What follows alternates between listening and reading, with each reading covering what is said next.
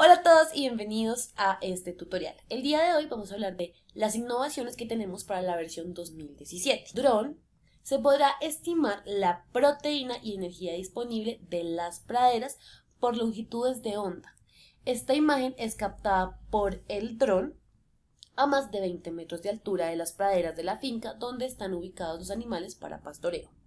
La imagen es clasificada por longitudes de onda las cuales se aíslan y marcan un punto que es un píxel de la cual se hace una clasificación algorítmica que se ubica en un plano cartesiano. ¿Cuáles son las ventajas del el dron? Primero, la representatividad de la muestra es alta. Segundo, los resultados son inmediatos, no hay espera. Y tercero, algunas veces las precisiones de los laboratorios no es indicada. Las fotos también se pueden tomar mediante un celular, preferiblemente que tenga 12 megapíxeles en su cámara. Se recomienda que al momento de tomar la foto se use un temporizador con un tiempo de 10 segundos. Esto con el fin de lograr una mejor focalización. O si desea puede adquirir en el mercado cámaras profesionales con RGB. Bueno, los pasos para el análisis del dron son los siguientes. Primero, debemos capturar las fotos con el dron. Se recomienda una altura de 20 metros. Segundo, una vez tenga las fotos, se debe crear una carpeta en nuestro equipo para guardar las imágenes del dron. En este caso tenemos esta carpeta. Tercero, debemos abrir el software y hacer clic en la imagen del dron.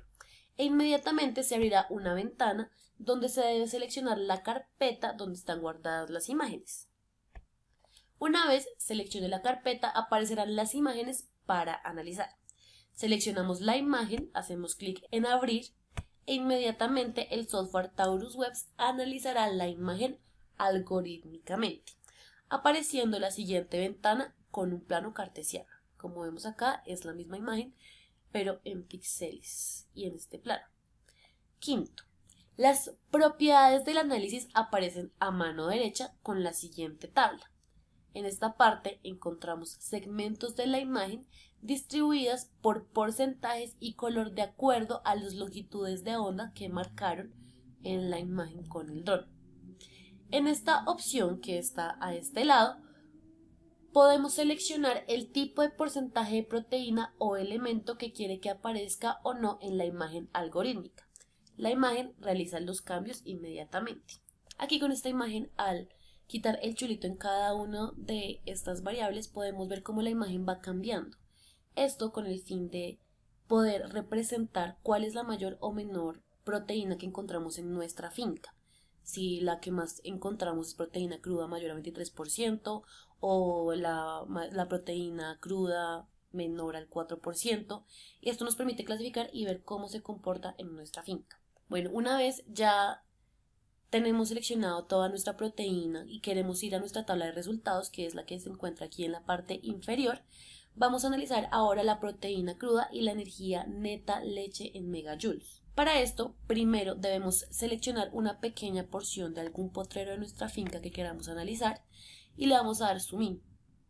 Esto permite que usted seleccione una porción o segmento del plano cartesiano donde está ubicada la imagen algorítmica.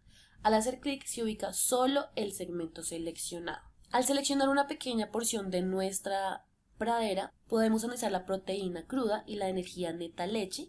En este caso, la proteína cruda es del 16,05% y la energía neta leche es del 5.04. Para volver a nuestra imagen original, vamos a zoom out y vuelve a aparecer todo todos los píxeles con los respectivos algoritmos.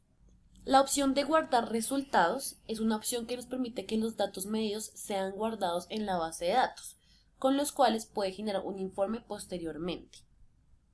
En este caso vamos a seleccionar otra porción de nuestro potrero.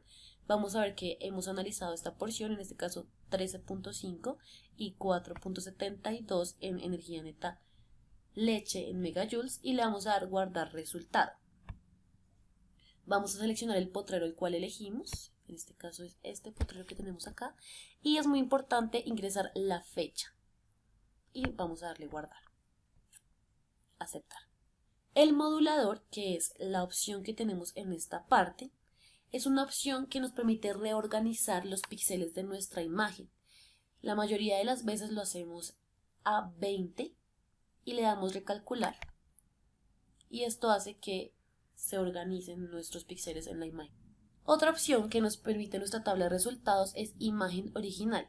Si usted desea comparar la imagen real con la imagen algorítmica simultáneamente, haga clic en esta opción y nos va a aparecer nuestra imagen tomada por medio del dron y podemos compararla directamente con la imagen algorítmica. Bueno, ahora vamos a ir a informe de dron.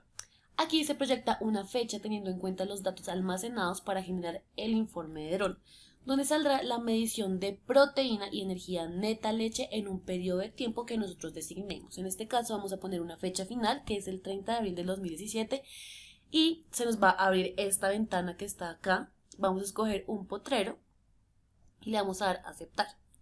Posteriormente nos va a salir este informe en donde se analiza la energía neta leche en megajoules. Si lo seleccionamos nos va, nos va a salir el gráfico. Si le hacemos doble clic nos sale el otro gráfico. Y también nos va a analizar la proteína en este periodo de tiempo que nosotros hemos seleccionado. Y nos va a graficar igualmente. Bueno, esto fue todo por el día de hoy. Nos vemos en un siguiente tutorial.